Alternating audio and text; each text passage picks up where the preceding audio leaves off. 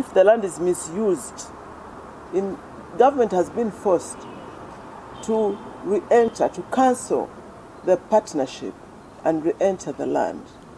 I am talking about cases like uh, the Naguru land, where government cancelled the contract with OPEC Prime and re-entered the land.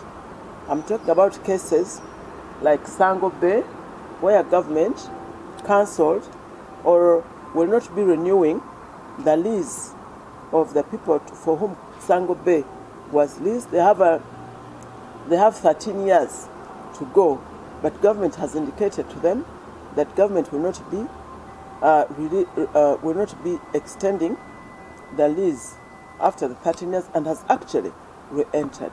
So where uh, conditions and terms have been flouted, government always has um, a, a, a, a, condition in the contract where government can re-enter, and government has actually re-entered uh, in cases of, uh, of contracts which have gone wrong.